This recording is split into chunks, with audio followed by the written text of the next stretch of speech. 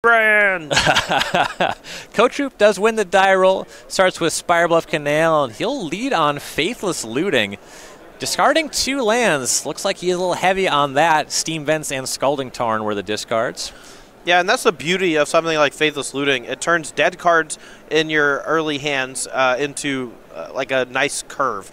Or it lets you nut draw with double Phoenix on turn two, you know? It's just good. Or, yeah, yeah.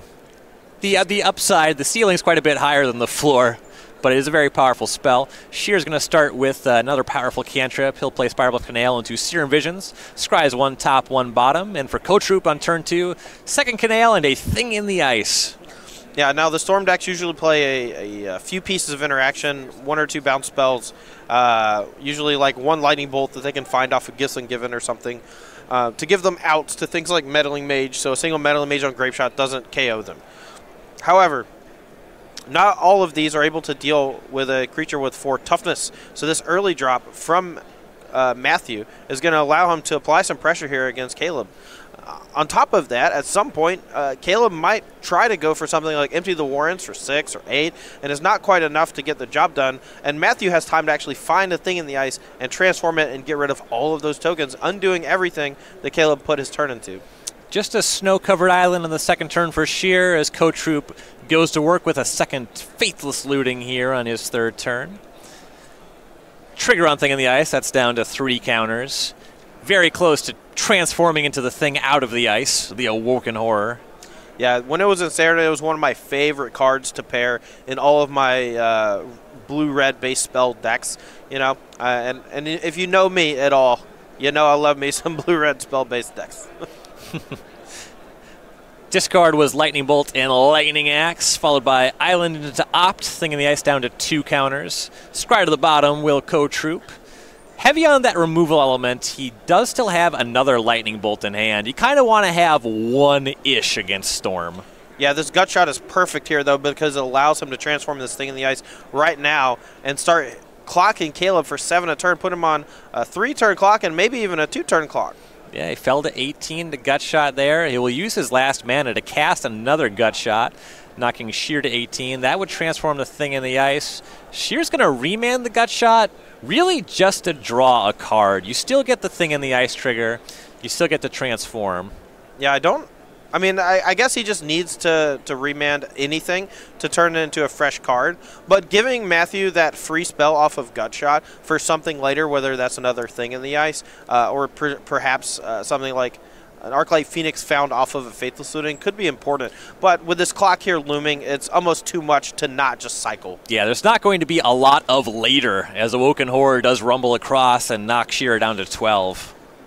Yeah, I would have liked to potentially seen uh, Caleb actually remand one of the uh, Faithless Looting slash Opt type cards because uh, there, there's a, a, really small chance that remand does a whole lot in the matchup. Uh, since Matthew already had a thing in the ice on the battlefield, not a whole lot of huge hits otherwise. Sure, yeah. Once once that one's down, that's that's the big one you want to remand is the thing itself. So you can't really do that on the draw. Shear's going to go to work on his turn. Starts on Manamorphose into Manamorphose. Yeah, it seems like he's digging for one of his mana creatures here. Finds one with Baral, which is a pretty big deal. Shocks a 10 off of Steam Vents. Still has two mana floating off Manamorphose. There's that Baral. Mana pool empty. Storm's at three. Unfortunately, he burned two Manamorphose, so he lost out on a bit of mana, but he needed to cycle those in order to find the Baral to have a chance of killing this turn, because otherwise there's a good chance he dies to just a Lightning Bolt and then the attack from Matthew on the follow-up. Here's a Desperate Ritual. Storm's at 4, 3 mana. Possible Shear might just be going for a Storm for 8 to uh, Grape Shot down the Awoken Horror, but he's got bigger plans. Another red ritual, and here's Past in Flame. Storm's at six, two red floating. Yeah, all he needed was that mana creature, and now it looks like he has it all. Uh, two more Desperate Rituals coming from the graveyard, two Manamorphose, and now all he needs is an actual win condition or something like Gifts Ungiven to keep the chain going. Desperate Ritual, Desperate Ritual. Storm's at 8. Red mana is at 6. Here's Manamorphose. Storm's at 9. Going to turn that to 5 red mana and 2 blue. Still has the other Manamorphose ready to flashback. Here's Gifts Ungiven. He still has Past in Flames in the graveyard to flashback. Storm's at 10. This one is going to be a walk-in. Going to see a Grape Shot in the mix off of the flashback here. I, uh, you know, you want to talk about something else?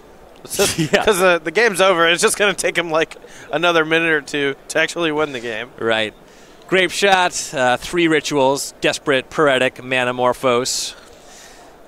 You still get to flashback your past in flames. Then you get to flashback your gifts ungiven. Storm goes from 10 to 1,000. You know, he's got to get to 18 here, but pretty trivial to do so. Yeah, and uh, Matthew uh, heads up here actually puts the grape shot in the graveyard. Understanding that if he puts the, the grape shot in Caleb's hand, he gets to cast it from hand first, and then flashback Past in Flames, and then cast it from the graveyard. Uh, you, you, give Sheer the opportunity to misclick here, though. This is not a player who's going to do that.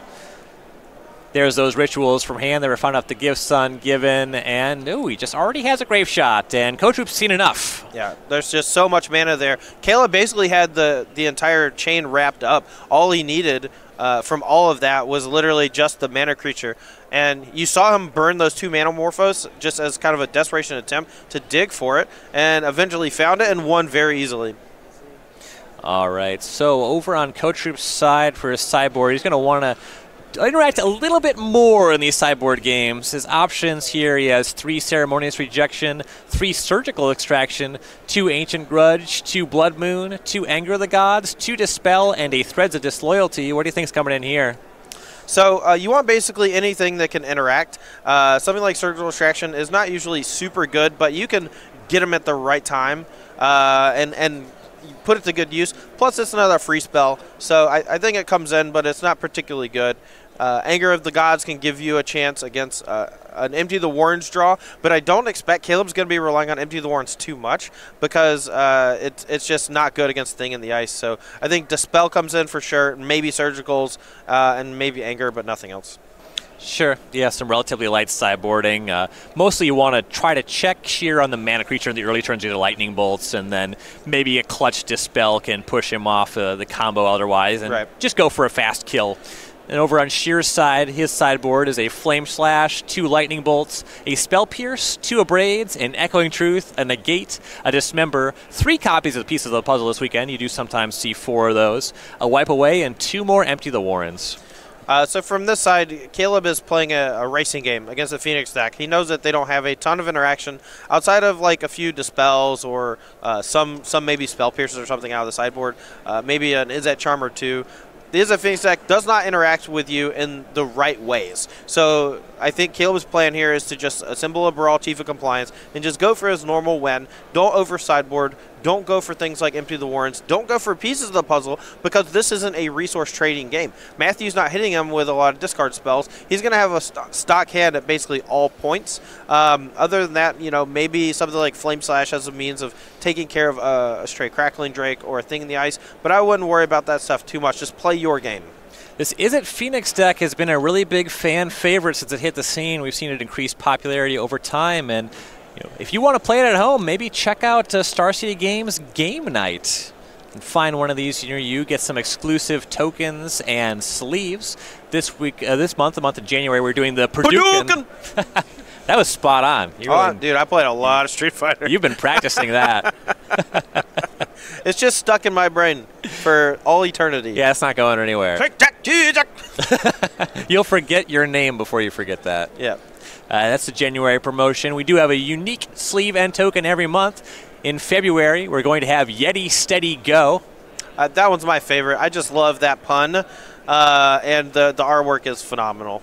Yeah, really great stuff uh, every month here. And in March, this is the promotion we have rolled out so far, Veni Vidi Armadici. Oh my god. That name slays me. I don't even. It's so good. Is, is a game I saw Armadillo? Yes. That's the approximate translation. Uh, okay, you know, I, I guess do they?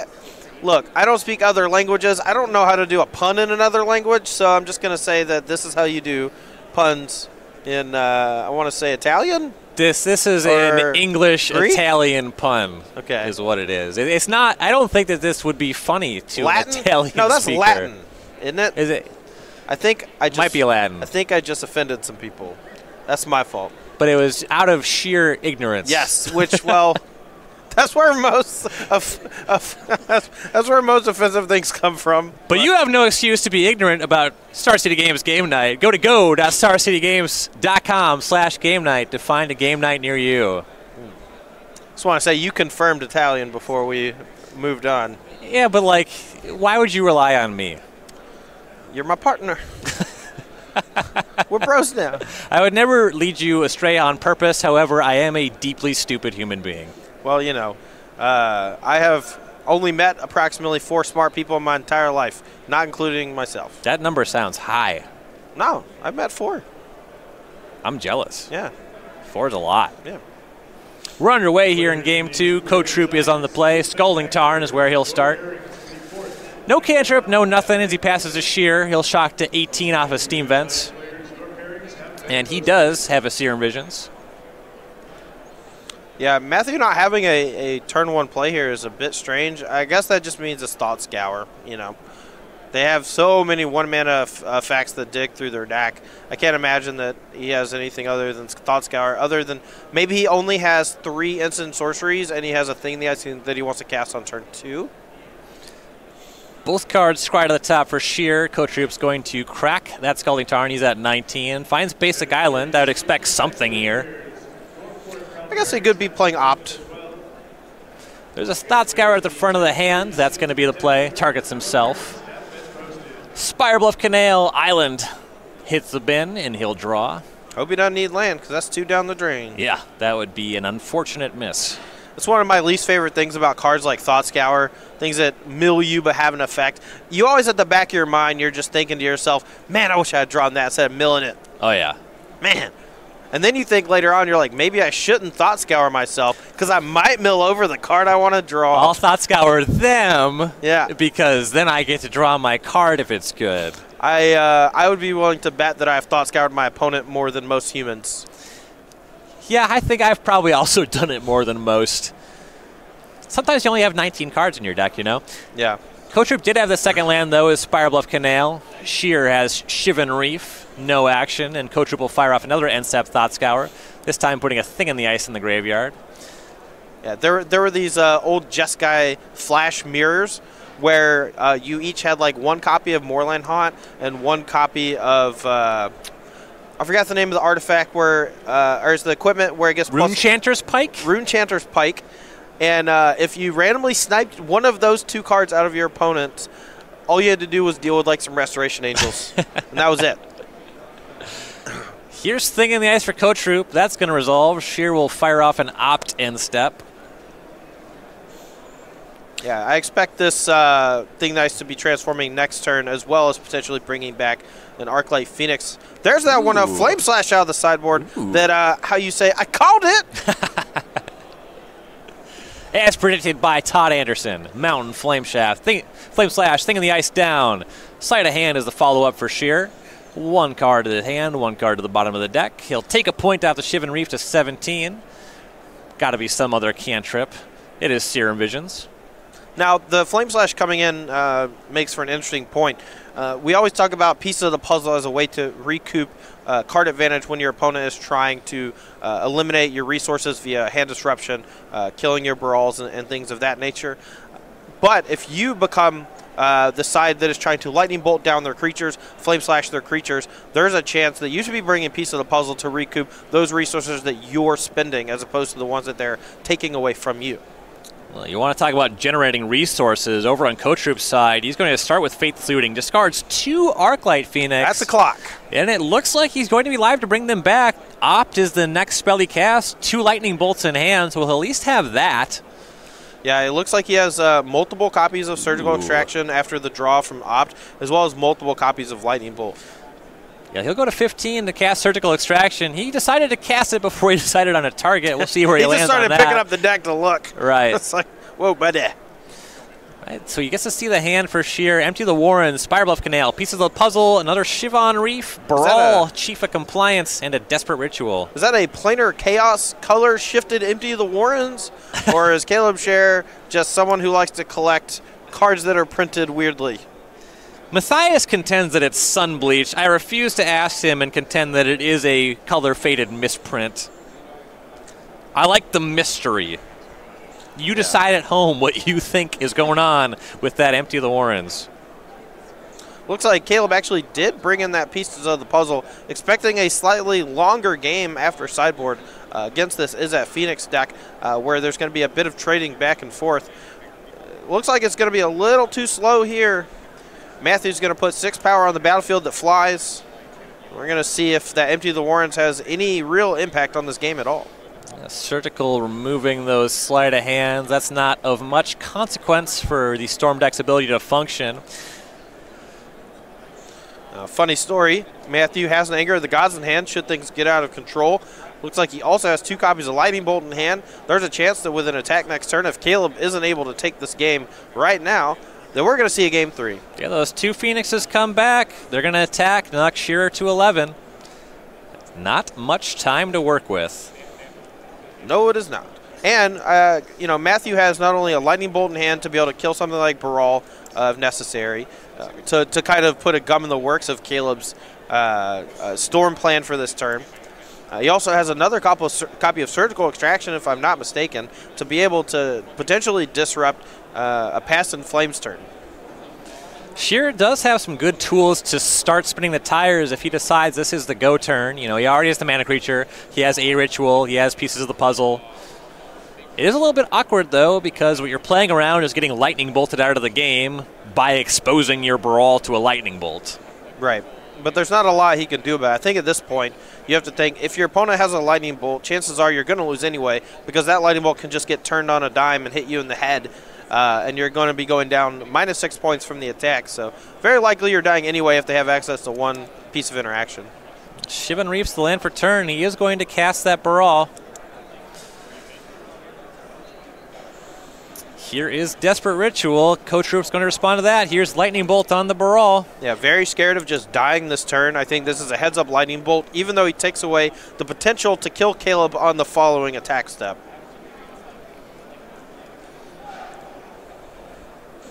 You never want to let these Storm decks get out of hand. Once they get to start casting spells with a Baral Chief of Compliance or a Goblin Electromancer on the battlefield, uh, things go south in a hurry. As you saw last game, Caleb, only two lands on the battlefield, no lands in hand. Manamorphose into a land, Manamorphose into a Baral, and then just immediately kills Matthew. Yep. And this is usually the window that you want when they cast the first ritual with the mana creature on the table. So that resolves. Sheer is going to use that three mana from the ritual and cast that Empty the Warrens. One, two, three, four spells, so that should be eight goblins. Yeah, this isn't a bad empty of the Warrens here. Uh, it threatens a lot of damage in uh, the next few turns. And uh, Matthew's actually just a little bit short on damage next attack step. And uh, amusingly, Cotrupe has that Anger of the Gods in hand, but that would clear away his Phoenixes. It's just, just good deck building. Right? I play against that Magic Online, like I play the Phoenix Mirror, and I get Phoenixes first, and my opponent casts Anger the Gods, and I'm always livid. I am so unbelievably mad every time it happens. As you should be. Oh no, the lightning bolt on top. He should have targeted Caleb targeted with a Thought Scour. Thought Scour what himself. What are you doing, Matthew? Cotrupe loses his lightning bolt. You know, it's actually funny. There, there are arguments to be made about uh, thought scouring your opponent when you have surgical extraction in your deck. If you're able to hit one of those key pieces like a Past in Flames or a grape shot, uh, you might be able to, to basically steal the game in, in a spot where you weren't normally uh, going to win. Yeah, that is true, depending on exactly what you need to be doing for your deck. If you got to find your Phoenixes, it's a different equation, but there is some play to hitting your opponent. There was an attack for six. Shears at five. He's going to come across for eight with his goblins. I mean, also, if, you know, if there's a bolt on top of your deck, you should know. You should know that. Thought Scour your opponent. Come Cotrupe's had seven, but Sheer doesn't have any follow up beyond a tap Spire Bluff Canal. So here's Lethal Phoenixes. Caleb's going to cast a bounce spell on one of them, unsubstantiate. But we know about that lightning bolt. Once this damage happens, Cotrupe should be able to lock this one up. Phoenix connects, Shears at two, lightning bolt, and we're going to game three. Yeah, we sure are. This is going to be a a squeaker one way or another. And I think that that was a uh, definitely a showcase of, of how not great something like Empty the Warrens is in the matchup. Uh, also, maybe shows how slow pieces of the puzzle is in the matchup because the Phoenix deck uh, doesn't really try to interact all that much. Um, we're going to see if, if Caleb goes back to the drawing board for the matchup. Uh, just a sec. So we have 895 players in attendance this weekend at our Modern Yowza. Open, and all of them received a five set of our new personality tokens from Star City Games. These are going to be individual tokens for a lot of our contributors over Star City Games and some of our commentators. Emma Handy with that shapeshifter token, the Changeling. Brian Gottlieb, the. uh, I guess we'll look at all. Let's do a, I was a going to closer say, look. can you slow down a second? I'm just trying to take in the majesty All that right. is Emma's changeling token. It is really nice. She's been wanting to make this for a very long time. Really happy to finally see it made for her. All right, next we have JD Clum Parents, the Spirit Token. This is actually really amusing. This is emblem. This is evocative of Bloodbraid Elf being killed by Valakut the Molten Pinnacles. These are really nice tokens. Yeah, I, I, the the spirit of Bloodbraid Elf dying to Valakut the Molten Pinnacle is peak JD. Yes. Love it. All right, next up, Brad Nelson as a, a bug. Insect. when I think of Brad Nelson, this is actually not what I think of. Uh, we got Jerry Thompson as a soldier with lifelink. Uh, unfortunately, that may supplant Aaron Barrett because there are way more uh, tokens that have lifelink nowadays. We'll see though. Yeah, that's been the design we've been seeing lately. And then we have a token that we haven't really seen for a while. Brian Gottlieb, the Squirrel token. Yeah, and uh, doing the fastball special, the uh, I want to say Colossus Wolverine, but I think I said that last time and someone yelled at me. um, I don't know. I mean, this looks a lot like Gambit to me. Just Gambit doing Gambit things. Throwing the squirrels. I would hope he doesn't throw squirrels. That's abuse. That's that is violent. But you will get all five of these tokens if you make it out to a Star City Games open event. Yeah, super excited about picking up these. Uh, I'm going to be in Indianapolis in a few weeks, and I, I can't wait to have them. And, uh, you know, Brad Nelson lives right down the street from me. I'm going to get a signature from him. Uh, Just get a stack of them. Yeah, Brian Gottlieb. Hopefully, I'll see him in Indianapolis, as well as Jerry Thompson, as they become uh, one of the other duos in the booth alongside Cedric Phillips and uh, or, not, uh, Patrick- Patrick Sullivan. And uh, that'll, that'll be awesome to watch. So if you're not able to show up in Indianapolis uh, in a few weeks, make sure check it out on right here where you're at right now, Yeah. twitch.tv slash SCG Tour. You can also get these at StarCityGames.com for a purchase of $20 or more, as well as at Star City Games Invitational Qualifiers.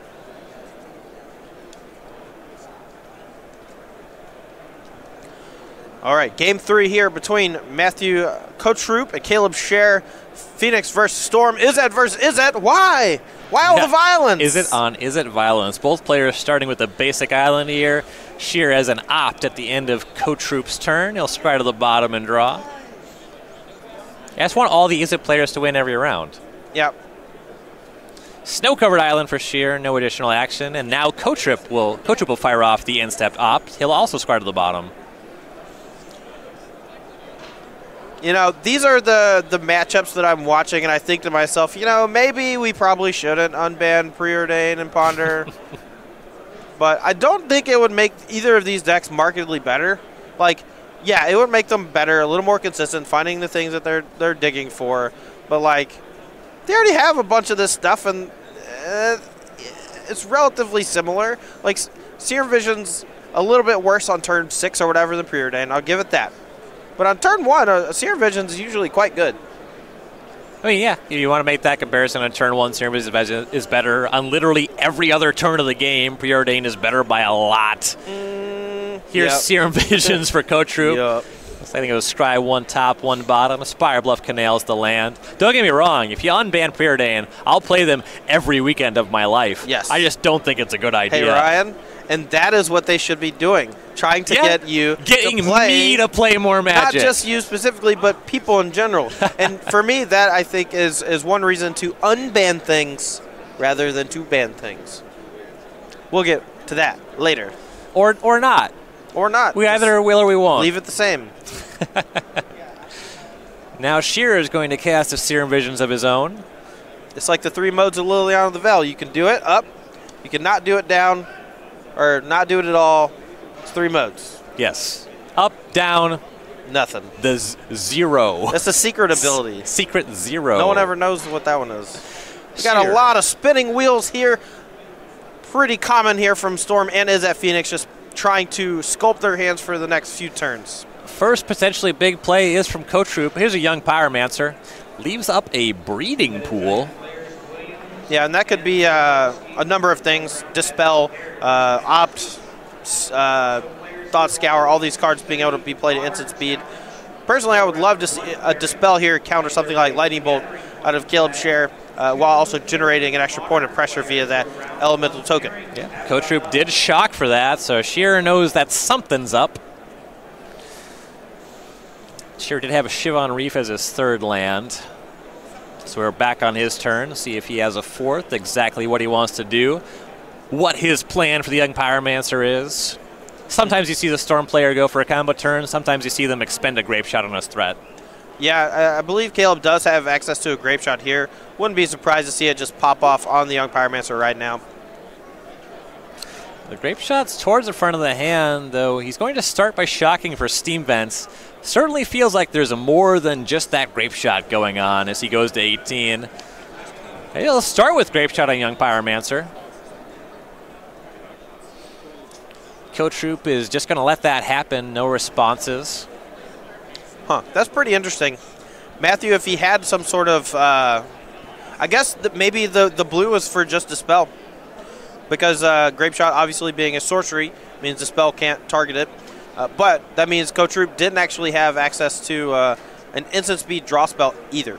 He did have a surgical extraction, but he wanted to wait on that, possibly looking at targeting that grape shot in the graveyard. So you go back to Cotrupe's turn, no fourth land, but he does have a second young pyromancer. He did not immediately fire off surgical on the grape shot, which makes it feel like that's not the plan. Well, that could be the plan at some point in the future. Right now, it's kind of a, a surprise steal one of your primary win conditions.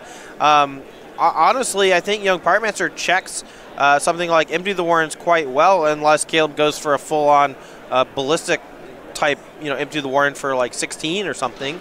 And uh, if he's able to take away these grape shots, not only that, uh, he takes away that primary win condition, but also takes away some of the ability uh, of Caleb to, to deal with this Young Pyromancer. Well, here's Flame Slash from Scherer on the young pyromancer. Again, no response from Cotrupe. Now Scherer will cast a pieces of the puzzle. That's going to resolve. Looking at Sleight of Hand, Manamorphose, Pyretic Ritual, Serum Visions, and another Manamorphose. So you can pick any two of these five. Yeah, I think double Manamorphose is probably the pick unless there is some uh, need for that extra red mana. Once you get uh, the combo going, Manamorphose is your best spell by a wide margin. Yeah, you're exactly right. Double Manamorphose it is. He'll pass to Cotrupe. Coach Troop's thinking about something end step, but decides against it. We're back on his turn. Looks like he drew another Surgical Extraction. Yeah, I mean, he can just kind of snag a few things if he wants. The grape shots for sure, and then kind of figure out if there's anything in the graveyard with a duplicate in hand and snag that from hand. Um, but he's trying to find a reason for these free spells. He's trying to find a thing in the ice or uh, an Arclight Phoenix with a way to put it into the graveyard. He'll start with Serum Visions. Looks like he picked up Misty Rainforest as the draw. He's going to go one top, one bottom on the scry. And here comes Surgical Extraction. He'll fall to 16 to cast that one. 230 modern players. Please head towards the gathering. We're going to figure out what he's targeting in just a second, but my guess is it's a uh, grape shot. Yeah, I'm right there with you on that. We'll get a take look at Shear's hand. Cotrupe did target Grape Shot. We have Desperate Ritual, those two Manamorphose that we all knew about. That Empty the Warrens, Goblin Electromancer, and an Opt. Just want to say this hand is busted from Caleb's side. Even losing the grape shots, his hand is very good. Can generate a lot of goblins and still have a bunch of cards left in hand thanks to those Manamorphoses. Um, Matthew does have another copy of uh, Surgical Extraction. So if he has something like Anger of the Gods and then Surgical Extraction to take care of Empty the Warrens, there's a chance that Caleb's only real way to win the game after that is by attacking with Goblin Electromancer and Baral Chief of Compliance. It is amusing to see the Izzet Phoenix take such a controlling role. You're right. He could have the option to take off all the Storm deck's win conditions, which usually the deck's really trying to race and come across the finish line. Yeah, this is a very interesting take from Matthew's side of things. Uh, but you know, he, he built his, his sideboard in such a way, and he sideboarded in such a way uh, that this could be a real possibility uh, of how this game plays out. And if it works, you know, then all power to him. Here's a faithless looting for Cotrupe now that he knows the holdings for Sheer. Looked like Thing in the Ice was the card scribed to the top for Cotrupe. That's a good cover for those em- that empty the Warrens. actually chose to discard the other surgical extraction, so probably doesn't have access here to uh, to anger the gods for that one to take out all your win condition punch. You know, the plan very well might just be use this thing in the ice to reset the goblins and then just hope that's good enough to win. Makes sense. You do go down on cards when you cast Faithless Looting. Right. Matthew does have access to a lightning bolt, so that could put uh, a you know a wrench in the works here for Caleb as he's going for this combo with his Goblin Electromancer. Uh, unless he's able to find another uh, mana creature in a hurry. But Caleb's under real no obligation to really go for anything in this spot. You know, Matthew has not shown any amount of pressure just yet. So far be it from me to, to say Caleb needs to go for it. He could just sit back another turn or two, maybe find another piece of the puzzle and just, you know, work from there.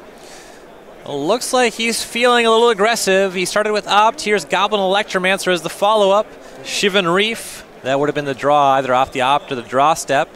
And here is Desperate Ritual.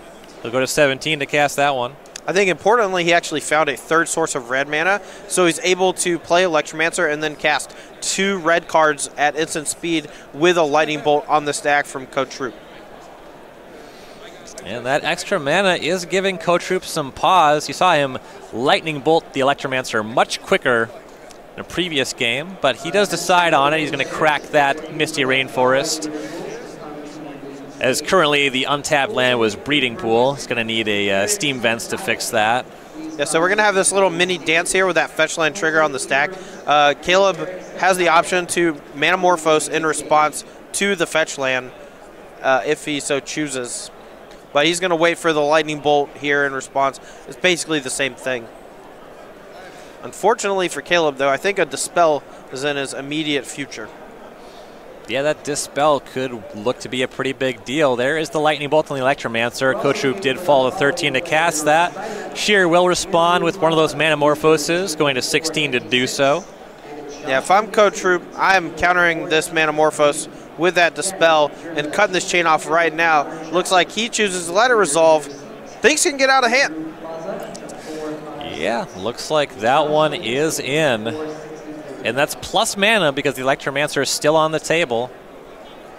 Blue red floating, he'll draw. Desperate Ritual is still on the stack. Maybe he's thinking about dispelling that one. Yeah, that's also true. If he goes for another Manamorphose here, uh, he could also target that. There is the other Manamorphose that the players know about. That one's going to resolve. Two blue and a red in the pool for Scherer. Desperate Ritual still on the stack.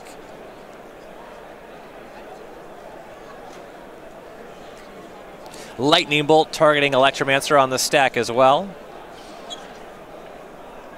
There's so many ways. I'm just trying to think through the permutations of each player trying to navigate this turn. Uh, you know, Caleb could have led with a Manamorphose, chose instead to lead with Desperate Ritual. Matthew could have gone Counterspell before the Lightning Bolt, which actually would have let his Lightning Bolt kill the, the Electromancer with the first Manamorphose on the stack, and then uh, it would have effectively countered this entire chain of events. Well, this is interesting. There's Dispel on the Desperate Ritual.